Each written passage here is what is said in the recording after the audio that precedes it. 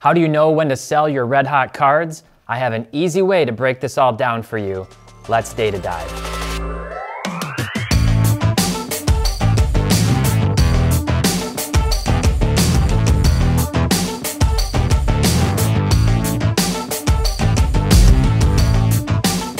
Hey guys, before we get into this episode, I want to remind you that the virtual holiday card show is back this year and better than ever. Join us December 7th through the 9th on this YouTube channel as we bring you a jam packed three days of guests, panels, and giveaways. Be sure to register by clicking the link in the description below. Hey, sports card friends, my name is Tyler Nethercott, better known as T-Pott, and welcome back to another episode of Data Dive. This week is a really important topic. Let's say you're holding a card that has just gone absolutely nuclear lately and you don't know if you should hold it or sell it. Is your card going to the moon, or is it just on one of those little Bezos space appetizers ready to come back down to Earth any day now? When you find yourself in this situation, you have to ask yourself a question. Are you short term on this card or are you long term? And based on the answer, I can help you. Let's start with the short term. So you're playing the flipping game, you're in it for the short term hustle. This one should be a no brainer. It's really not rocket science. My theory here is when a card doubles within a few weeks, it's absolutely time to sell. Don't be greedy. It's much easier to sell to during the crescendo than after the card has peaked and is already coming down. Now let's take a look at Jordan Poole's Prism Silver Raw, for example. All right, now Jordan Poole, he came out last March in extended minutes, and he started dropping 25 a game when the market went absolutely gaga for him. Then he had his minutes cut, and his prices came crashing back down to earth. And we can see that on this chart right here. You know, he was kind of trending up and down a little bit like we see with a lot of these Prism Silvers in Raw. And then suddenly this card went from about 25 bucks all the way up to 75 to $88. And this is where things can get really tricky. When a card goes up three to four X that fast, it's almost always going to come back down. And why does this happen? These hype events lead to irrational buyer euphoria. Once a card hits somewhere between two to three times you know, the price that it's recently been at, human psychology says that a significant portion of the people holding those cards are going to be willing to sell.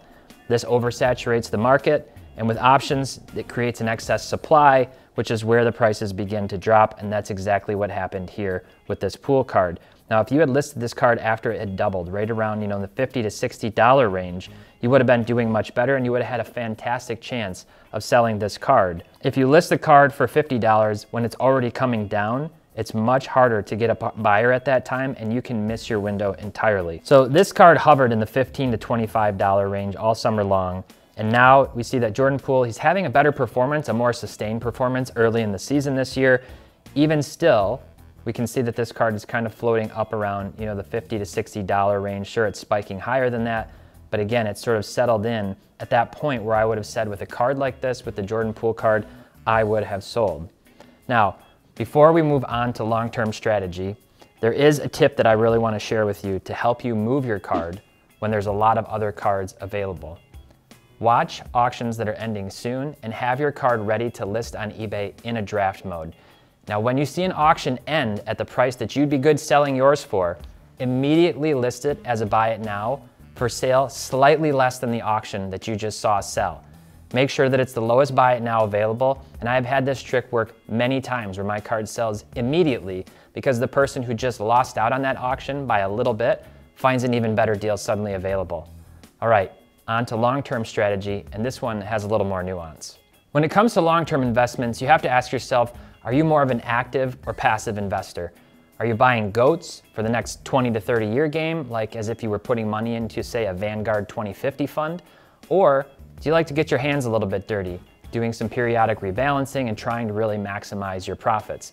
Let's take a look at Tiger Woods' rookie card and talk about both scenarios, starting with active management. So this is Tiger's PSA 10 rookie card. It's his 2001 upper deck. This is a card that is, you know, not necessarily rare, but it is iconic. This is really, you know, the, his, his most often sought after rookie card. And what I've done here is I've gone back all the way to early 2020 to kind of show you what's been happening with this card. If you're doing long-term active investing of all-time greats, I would always suggest selling when a card rapidly triples or even quadruples in price in a matter of weeks. And that's exactly what we saw happen here with this Tiger Woods, where it was, you know, it was hovering right around in that 60 to $65 range.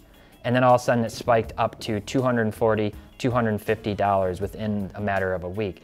And what happened back here was, you know, this was during the last dance. This was during the GOAT craze of 2020. This is when people suddenly realized that one of the greatest golfers of all time had dirt cheap rookie cards. And this wasn't a hype event per se, as much as sort of an evolution in market consciousness around this card.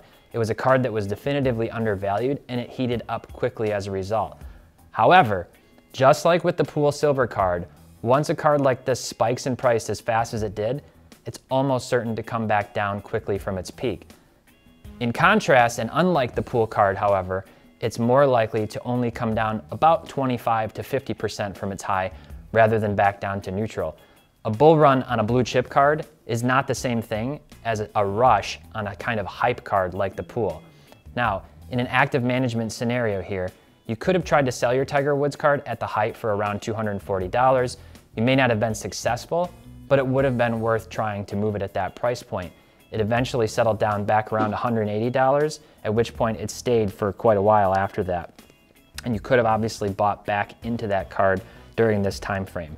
Now there is a second scenario in which you might want to sell your blue chip card, you know, even if you believe in the long-term prospects of it, and that's if the card doubles from its previous high point over time. You can see that this curve here was much slower and much more organic than the initial price spike that happened with the card. But this is very common on blue chip caliber cards or stocks for this type of an event to happen where it's going to progressively go up and then what we see is that it hits this climax up a little bit north of $500 which is right around double this previous high of $250. And this would be a good time to look and sell. Now the question is, why? And the answer, I'm gonna get a little bit heavy here, is Elliott waves. There's an investment analysis theory called Elliott wave theory and it plays on investor sentiment and psychology. This theory suggests that an investment asset goes through cycles of ups and downs while generally trending upward before eventually going through a similar cycle, but again on the way down. Now I'll explain that a little bit more in detail here and show you what I'm talking about. So this is from Investopedia, and you can see this is, this is like the Tiger Woods card. You'll recognize some similarity here. This is when the card went up from $60 to say 250. Then it came back down by, you know, 70 bucks down to 180. Then we saw it go up to $500. Now, what do you think happened after that? We saw on the chart that this card started to come back down. And each time, the come down is not as far as it went up. But obviously that can't hold true like that forever. So what do we think happened to this Tiger Woods card? I was all the way up to December 13 here with this card. What do you think happened after that? I'm just gonna bump this out another month, say to January 2nd. And then you can see all of a sudden this card just has this massive spike. It goes absolutely crazy. So it was hovering, you know, back down in the $400 range. It starts to gain some momentum and then bang, it's up north of $1,000. This is obviously scenario where you're looking at this card and you're saying, this can't sustain. This can't go up this fast. It's like the early euphoric spike that we saw. It's going to come back down rapidly, and that is exactly what happened. So if I shift over to this chart view, this is that same spike. I've adjusted the time frame, and you can see that very rapidly, even with this being a blue chip card, this went up so fast that it had nowhere to go but to come back down.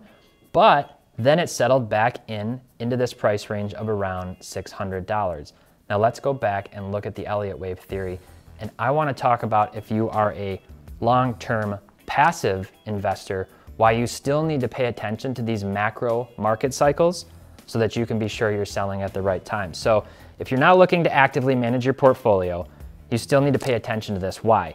Let's say you're looking to cash out your cards in the next year or so, and you've hit the end of your investment window and you're ready to take the profits.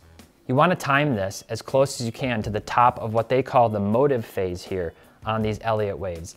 And what that means is we're looking for this, you know, this fifth peak, which is what we saw on the Tiger Woods cards. So we saw the first one, if I go back, we saw one, and then it started to come down. We saw two, and it started to come back down. And now this is three, or what they label as the fifth point in this cycle, in this motive phase before this card is ultimately going to start coming back down. And if it's any indication, when we look at this card here, we can see this, this one anomaly here. This is really unique with this Woods card. It was truly an anomaly. That was when he had his accident and people didn't know if he was gonna be okay. They didn't know if he was actually gonna survive. There was a lot of rumors out there. So his card prices temporarily spiked like we saw with the unfortunate passing of Kobe Bryant. But now what we've seen is that this card continues to come back down consistently and it's all the way back down into the $300 range, which might actually be a great time to buy now. So in the case of this card, even if you had planned to hold these cards for a long time, and let's say you plan to hold it for another year before you were ready to cash this out, you want to pay attention to this, and you would have wanted to sell this card back in January when it went crazy, because it's very possible now, based on this Elliott wave theory, that this has started to slip into what could be a one to two year corrective phase cycle before we start to see upward momentum once again. Now there is a third scenario that could apply to both short-term flippers and long-term investors. We'll just quickly take a look at James Harden's 2009 Topps rookie card. Now James Harden will definitely go down as one of the 10 best players from the past decade. Even if you believe in James Harden's cards long-term, there was a hype event which occurred when everybody should have tried to sell. When Harden forced his way out of Houston, he wound up on the Nets, his cards went absolutely nuclear, from about $1,500 up to almost $9,000. And then look at what happened after that and up until now when the Nets didn't win the championship. This in February is right when he was traded. There were rumors, obviously he was trying to force his way out. They spiked all the way up here to almost $9,000 or, you know, just, just under by a dollar. There was this little bit of a ripple effect and then just gradually they've been coming all the way back down and literally back down to where they started you know, right around $1,700 from well before that spike. So it doesn't matter if you were playing the short or the long-term game there, you definitely should have sold that card when the trade happened and taken the profits. Now, all of this leads me to one final deep philosophical question, which is something that only you can answer for yourself. Which would haunt you more? Selling now, only to see that card potentially go up more, or waiting to sell and then seeing that card go down significantly. I can say that for me, it's usually the latter. I get more bummed when I miss a window than when I take guaranteed profits short of the peak. But what about you? Let me know down in the comments what you think. All right, as always, the charts and tools that you saw today are provided by Market Movers. We now have over 350,000 cards in our database and are launching new features monthly. For more information, visit marketmoversapp.com and see which plan might be right for you. I really hope this helps. I'd love to hear your thoughts and tips for deciding when you sell your cards down in the comments, and which of these tips, if any, do you think was most valuable. Thanks a lot for watching, and until next time, happy investing.